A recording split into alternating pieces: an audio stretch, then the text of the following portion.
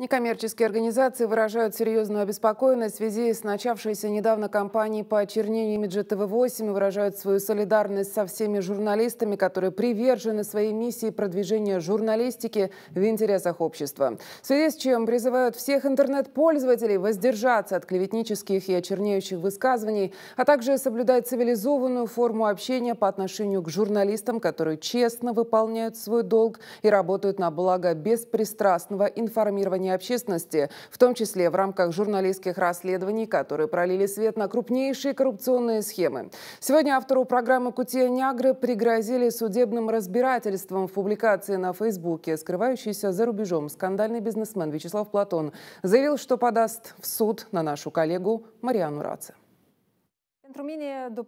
Для меня после почти недели атак на ТВ-8 лично на меня, поступающих из различных сомнительных источников, абсолютно ясно, что их цель запугать меня и команду ТВ-8, чтобы заставить нас бояться, не справляться с работой, а меня напугать и отказаться от расследований, которыми я сейчас занимаюсь. В прошлую среду нам нанесли сильный удар, момент самый подходящий атаковать уже дальше всяческой неправды медиаучреждения, а ТВ-8 является учреждением, заслуживающим доверия и мощным голосом обществе, которое очень многих раздражает, и в частности, Плохотнюка и группировку, которую он представляет. Думаю, что общество и граждане очень хорошо понимают, кто такой Вячеслав Платон. О беззакониях, в которые он был вовлечен, журналисты-расследователи писали неоднократно. И не только из Республики Молдова, но и международная пресса. Жаль, что прокуратура не видит всего, что происходит в последнее время. Начиная с того, кто такой Вячеслав Платон, думаю, ясно, что он хочет сделать и почему он нас атакует именно сейчас. Я всегда выступала за законный путь решения любых любых проблем. Дальше я буду выполнять свою работу так, как делала это всегда. Правильно, честно